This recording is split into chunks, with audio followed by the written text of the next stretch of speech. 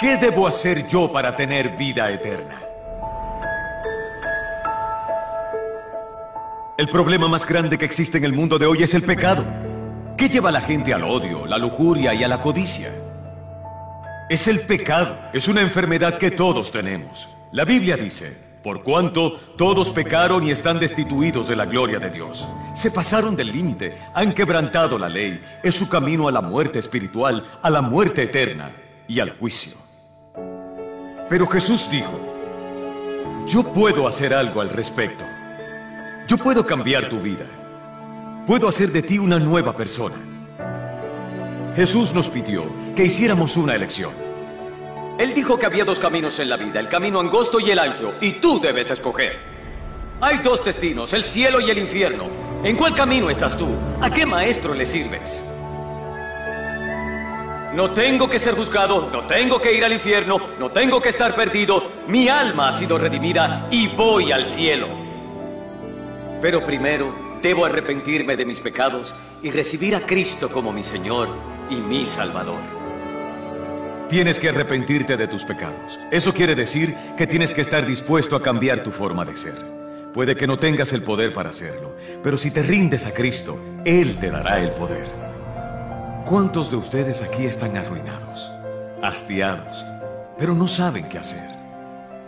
Si le dan su vida a Cristo esta noche, tendrán ayuda sobrenatural para romper esas cadenas que los atan. Dios no está esperando para juzgarlos, Dios no está esperando para condenarlos.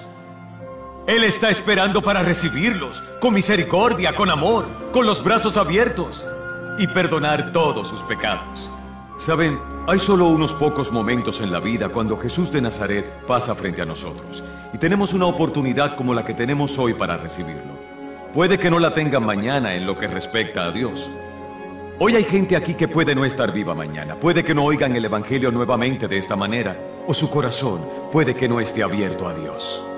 Vengan mientras puedan y no lo prolonguen más. Dios está esperándolos para darle la bienvenida con los brazos abiertos, para recibirlos cuando ustedes vengan a Él con arrepentimiento y fe. Es sencillo, y aún así sus vidas pueden cambiar. Todo el cielo se regocijará. Cristo tomó el infierno que tú y yo merecíamos.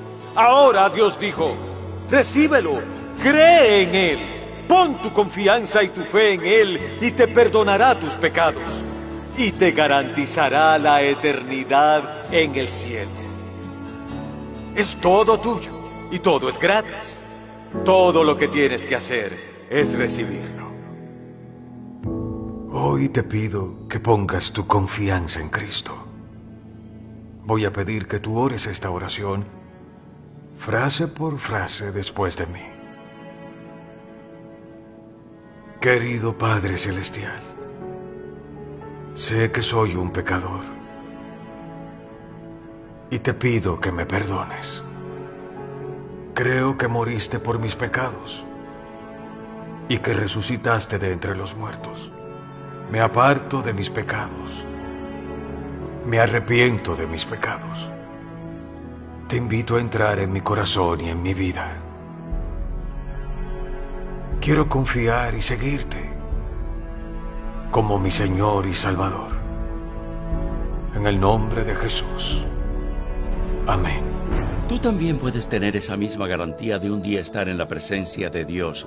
La Biblia dice, porque de tal manera amó Dios al mundo que dio a su Hijo unigénito para que todo aquel que en Él cree no se pierda, mas tenga vida eterna.